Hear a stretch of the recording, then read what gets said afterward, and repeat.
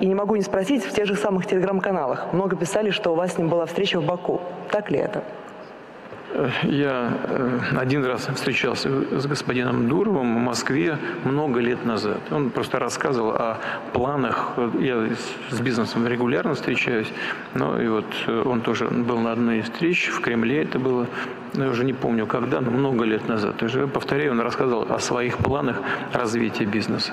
А с тех пор мы с ним не виделись, мы с ним контактов никаких никогда не поддерживали. Э, зачем нам встречаться в Баку, я не очень понимаю. Я даже не знал, что он там находится. Понятия не имею об этом. Не имел об этом. Э, потому что если есть желание, вот здесь представителей бизнеса очень много, все знают, я никогда не отказываюсь. Мы э, регулярно проводим такие встречи и в рамках объединений Э, наших предпринимателей и в индивидуальном порядке, рассматривая э, те или иные, проекты, э, особенно если у бизнеса есть потребность в каких-то гарантиях со стороны государства. И я, и председатель правительства, федеральные министры, региональные власти, мы, я их во всяком случае на это всегда настраиваю, мы не отгораживаемся от бизнеса. Поэтому, э, если у него было бы какое-нибудь какое-то желание, он мог бы встретиться со мной в Москве. Я, об, об этом я тоже э, ничего не знаю. Э, я исходил из того, что он живет в Москве, по-моему.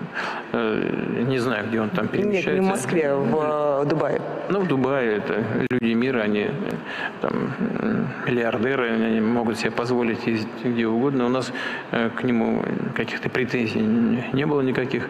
Но я знаю, что со стороны многих стран претензии были, э, с учетом того, что э, платформа определенным образом используется э, какими-то людьми, какими-то структурами, которые могут наносить ущерб своей деятельностью значит, экономики, либо в сфере безопасности тем или, или иным государством.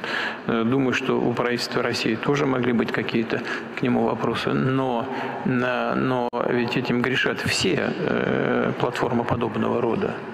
Э, если, если с Дуровым так поступают, то надо и других, наверное, тоже закрывать, арестовывать, либо э, сажать их под домашний, либо какой-то другой арест, связанный с ограничением свободы.